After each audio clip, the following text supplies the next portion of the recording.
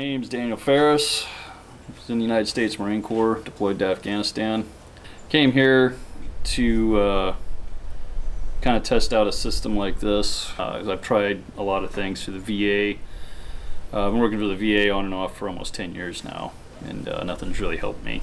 This program really opened my eyes to some stuff.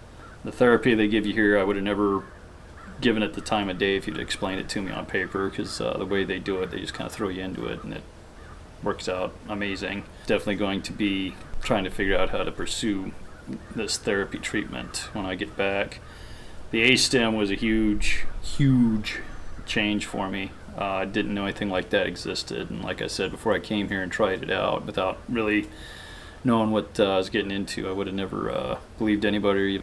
Equine was definitely uh, something I was happy to have. As a whole, this program really changed a lot for me.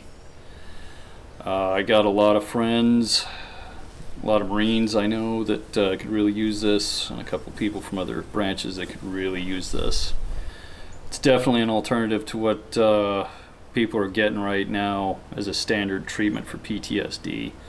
I have a lot of vets that I'm going to try and contact after this and see if I can get them uh, interested or persuaded to come to this because I think that they would help out a lot.